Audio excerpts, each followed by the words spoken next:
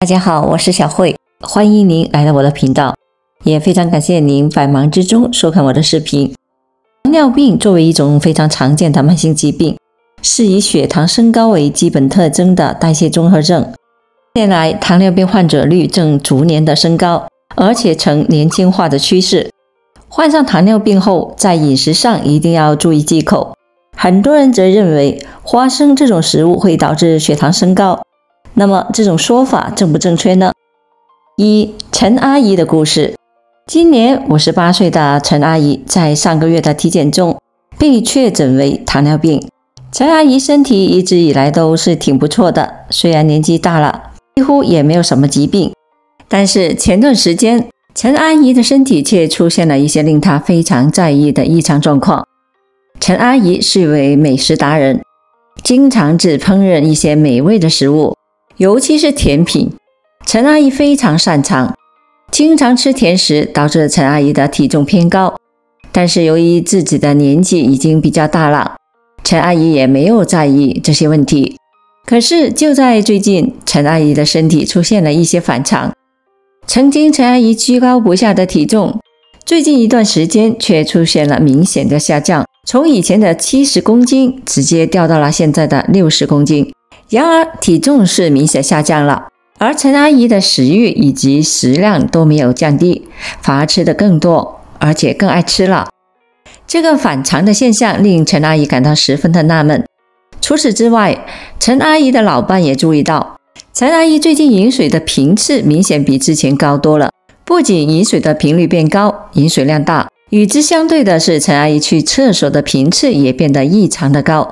最终无法忍受自己身体出现异常的陈阿姨，决定到医院进行体检。经过检查，医生排除了陈阿姨泌尿系统出现疾病的可能性，但是却告诉陈阿姨，她有可能患上了糖尿病。第二天早上，陈阿姨空腹到医院进行了血糖检查，结果显示，陈阿姨的空腹血糖值为每升七点八毫摩尔。超过了参考值三点九至六点一毫摩尔每升。最终，根据陈阿姨的情况，医生将陈阿姨确诊为糖尿病。在得知自己被确诊为糖尿病之后，陈阿姨非常的震惊，她实在是搞不明白自己好好的身体怎么突然就得了糖尿病。在冷静下来之后，她突然想起来，自己以前一位得了糖尿病的朋友告诉过自己。吃花生可能就会导致糖尿病，而陈阿姨平时也是非常喜欢吃花生。陈阿姨赶紧向医生询问自己经常吃花生这个习惯是不是自己得糖尿病的原因。医生听了以后，示意陈阿姨坐下来慢慢说，因为想要找到病因，需要对患者的生活习惯进行细致的了解才行。二，花生是糖尿病的导火索吗？医生表示，很多人在确诊糖尿病之后都不敢再吃花生，甚至觉得花生是导致自己糖尿病发生的导火线。这些想法实际上是不够准确的。对正常人而言，由于花生脂肪和蛋白质占最主要，而且还有丰富的维生素和部分的粗纤维等的物质，这些因素使得我们平常一日三餐中使用花生时，机体消化较慢。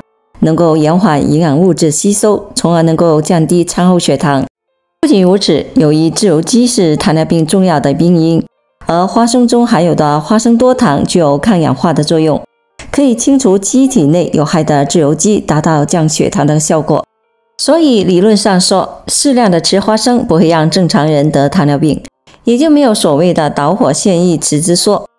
而对已经诊断为糖尿病的患者而言，花生则是一把双刃剑。其实，花生的最主要成分是脂肪，而且还是对人体有益的不饱和脂肪酸。它可以加快血液中胆固醇和甘油三酯的代谢，使低密度脂蛋白含量和血液粘度降低，降低心血管病的发生风险。但是对于糖尿病而言就不太一样了。花生的热量比平常的蔬菜热量要高得多，每一百克花生所含的热量为三百一十三千卡。但经过炒制加工后产生的热量可以达到五百多千卡。如果糖尿病患者过量的食用花生，就很容易导致肥胖的发生，而肥胖又是糖尿病发生的一种危险因素。对于正常人，肥胖可以导致患上糖尿病的几率增高。对于糖尿病患者而言，肥胖会加速病情的恶化，使各个组织器官损伤加重。但是，并不意味着糖尿病患者不能吃花生。糖尿病患者依然可以吃花生，只是不能过量的食用。花生富含丰富的脂类，但是也有研究表明，要把握好食用量。花生反而能够降低糖尿病患者的血脂水平，从而减轻患者的病情。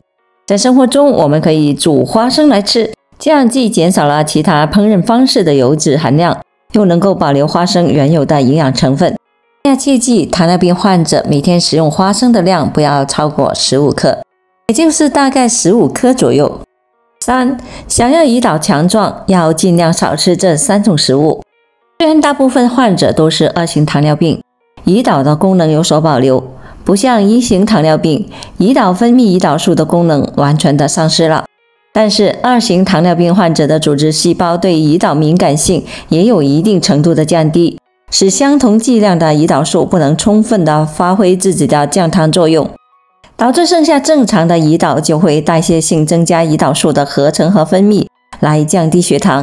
但是如果这时代谢分泌的胰岛素仍然不能使血糖降下去，胰岛此时就处于一种劳累过度、脂代偿的状态，加重了胰岛的损伤。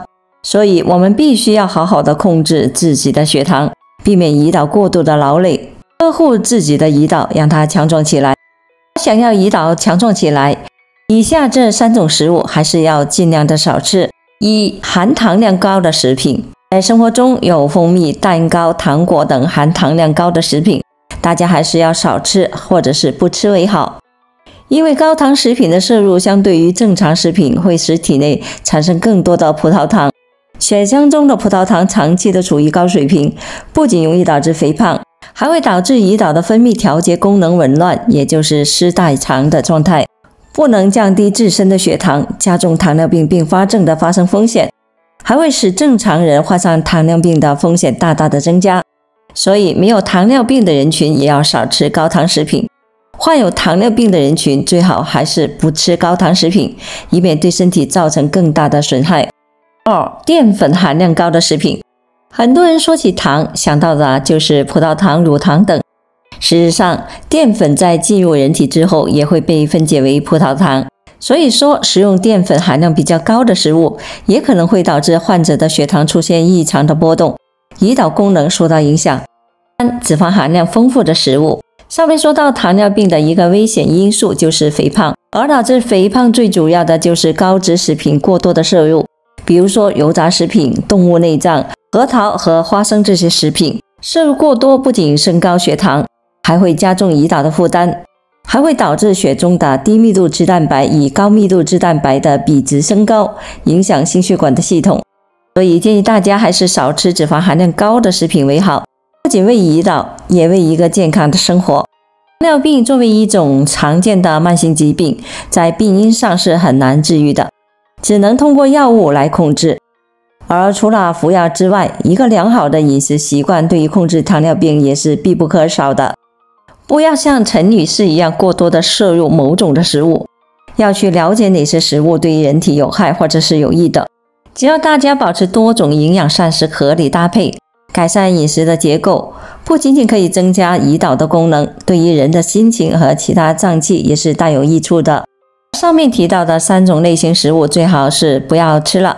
从而帮助更好的控制和预防糖尿病，有个更美好的生活。好了，朋友们，今天所分享的视频内容就到这里了。制作视频不易，朋友们，如果您觉得我分享的视频内容对您有所帮助的话，就请您给我点个赞吧。您的每个留言和点赞都是我进步最大的动力，也非常欢迎您到评论区分享您的生活经验。非常感谢您的支持和鼓励，我们下期见。